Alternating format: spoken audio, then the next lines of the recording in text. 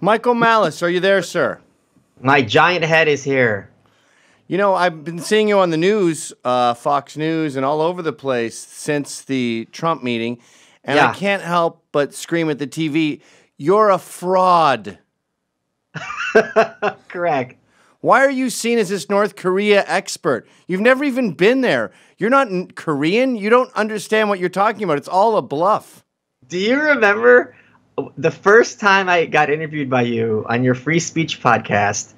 I handed you my North Korea book, and you go, "Oh, this came out a year ago. This is over." And you literally tossed it aside and didn't want to talk about North Korea at all. Because obviously the North Korean issue went away. Well, I think it was a little petty that you single handedly brought it back so you could be right about a stupid argument. yeah, that's the only re- right. I'm like, dude, you got to get nukes so I could get on Gavin's show. But uh, let's take a step back here. So you literally wrote the book on North Korea. You've been there many times, right? Just once was plenty. The book, Dear Reader, Right. And and the problem and I gave with you the hardcover, which is worth a lot of money now. the problem with going to North Korea uh, is you're given a very spe- a specific route you can go on.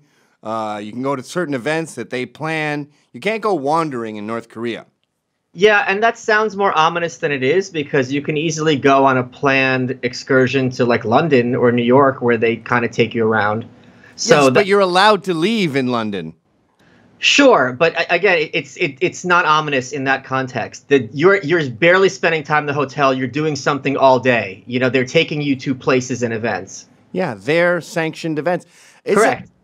what would happen if you're on these events? You left the, the the crew, and you took a picture of a kid who had no pants and was sitting on a pile of garbage having a cigarette. Nothing. Oh, really? I thought the host would be punished. No, so that in recent, like basically, the, how you have the tour company, the tour company partners with a Western tour company, and the Western tour companies, because they just want foreign currency desperately, right? So the Western tour companies are like, we don't want the guides who are all brainwashed. We want the ones who think they're hip and edgy.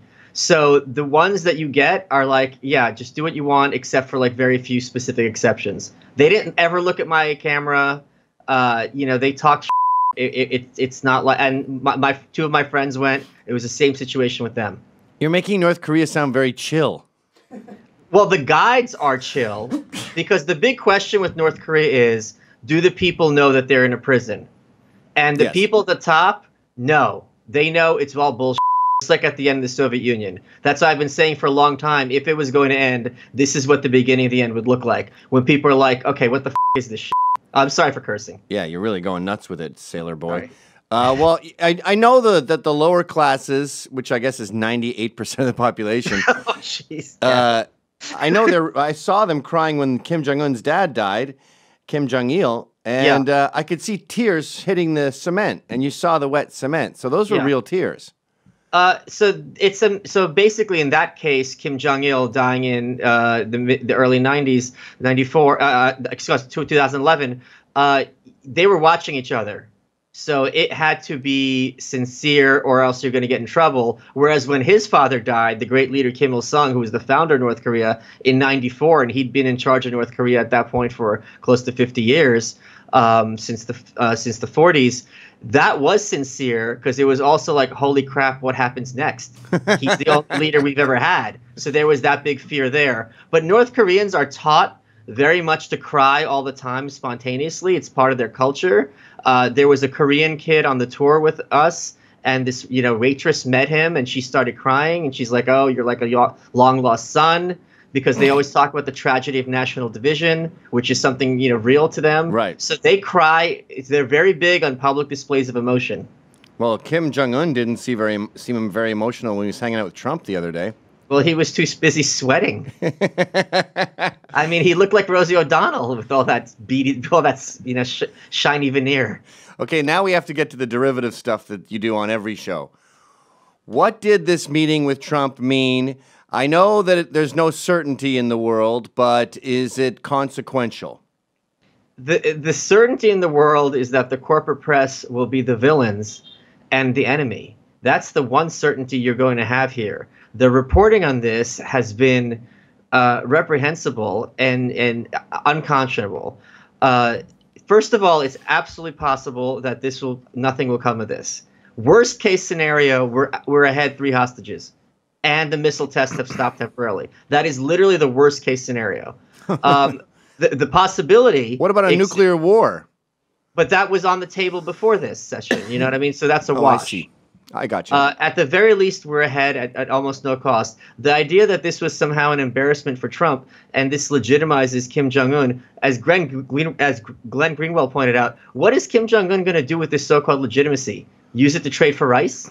Use it to build bigger nukes? Like, what are you talking about? If you have nukes, you are legitimate. You have to respect someone with a huge gun, not in the sense of admire him, but acknowledge his power. It, it's it's and, it's and the power he has over 25 million of his hostages. So this is a very positive step in what could be a positive direction. We've never had anything like this before. Peace is always preferable to war, and the fact that Trump isn't listening to the so-called experts uh, which is a flaw of his and a you know uh, something in his favor. In this case, after the, what they've tried hasn't worked, I think is driving them pretty obviously crazy, and they're responding in, in grotesque ways. Yeah, good point. It's not just the media that's going nuts with this and liberals. It's the establishment, it's the swamp, it's the deep Right. state. They're Right. all they've all been made superfluous by the, his independence.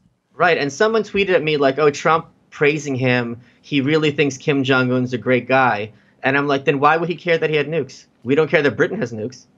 Right, yeah. Um you know, I've noticed and I wonder if you've noticed this too. Despite this obvious success, which deserves a Nobel Peace Prize much more than Obama, you have all these never Trumpers and liberals trivializing it. And it remind we were talking about this yesterday on the show how Bill Maher wants the economy to fail just to to get Trump out. I honestly believe these people would love to see America burn. They'd love to see total chaos just for the one-upmanship, so they can say, "Ha ha, I told you so." Trump sucks. I, I made this point on Gutfeld's show yesterday, which is they are so invested in the idea that Trump is the worst president who we've ever had and could ever have, that if he was just mediocre and just William McKinley, their credibility is shot. All he has to do is be at the like 25th percentile, and everything that they said goes out the window. And if this were Obama, I mean, I mean, the, the they they would be saying he should have the Nobel Prize in perpetuity yeah, there'd and, be under- and understandably, there'd be orgies in the streets. I, I, yes, they they wouldn't be screaming at the skies; they'd be screaming on the ground. Yeah, Actually, I was in Williamsburg when Obama won, and they were literally screaming at the at the sky with joy, standing on lampposts and mailboxes, screaming in hysteria. I, I'm just going to quote the South Korean president, where he said, uh, "We don't care about if Trump gets the peace prize; we just want peace." I don't begrudge Obama that prize. Get that prize. That's fine. The point is, the only thing that matters is peaceful liberation of the North Korean people. The end. That's it. So to to summarize this, it was very consequential. It was very beneficial. It's a huge accomplishment for Trump, and anyone who says otherwise is being a complete pussy. and the fact that we got him out of his house. That's no small feat. He's bunkered in pretty well there, and we, you know, Hollywood rules. Who gets up to sit at whose table? We got him on a plane, and we got his, his fat butt out of Pyongyang. That's a power move. Right. Trump putting his hands on him and showing him go down the hall. That's a power move. These are all power moves. Even when he wrote that letter canceling the summit, and Nancy Pelosi said this reads like a Valentine to Kim Jong Un. The letter says we're canceling the summit. This is a great opportunity for peace. We have the world's largest nuclear arsenal, and we pray to God we never have to use it. What kind of Valentine boasts about your nuclear arsenal? Who are you dating, Nancy? Well, yeah, they always say Trump is an egomaniac and he's all about show and he's all about how he's perceived. And I think, yeah, that's the job of the president. I mean, you represent the entire country. You should be a narcissist. You represent me. How can you not be a narcissist and think I should run the federal government? and I'm going to spend two years of my life against brilliant, rich, qualified people, including in my own party, and be like, no, they're they'd be terrible and I'd be wonderful, even though we agree on every issue. What? And be a narcissist. Be a peacock. You, You- know, you are have essentially a, a human flag. I want you going like Right. this. You have to have something, in my opinion, something really askew with you psychologically if you feel comfortable being like, I want to make decisions as to whether to send a nation to war. Yeah. Because that is such a big, intense moral question. I'm going to cause many ki- pe- mothers and fathers to have funerals. And to have the nerve to say that takes a certain kind of mentality. It takes a real man. And that's Yeah. what we got with Trump. yeah. Mike, thanks for being on the show despite your total lack of knowledge with anything relating to North Korea. Thanks, Gavin.